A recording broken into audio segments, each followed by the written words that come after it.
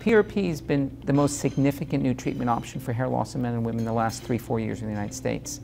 It's been done for over a decade in orthopedic surgery, for sports injuries and orthopedic injuries, and it migrated into dermatology several years ago.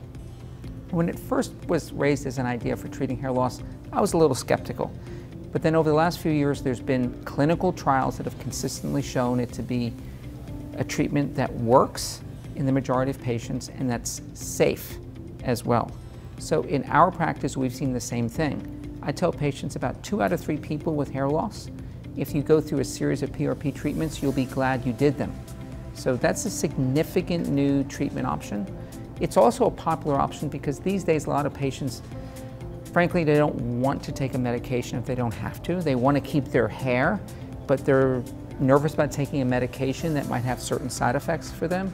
So if somebody's motivated to keep their hair but doesn't want to go on a daily medication or just can't do something daily, doing a series of monthly PRP treatments for three months is a way to help their treatment, uh, help their hair loss in a way they don't have to do anything at home for themselves. All treatments for hair loss are, is only successful if you continue. So in this case, the protocol is to do three treatments once a month. So you do a treatment for three months and then we wait six months and see what it does or doesn't do.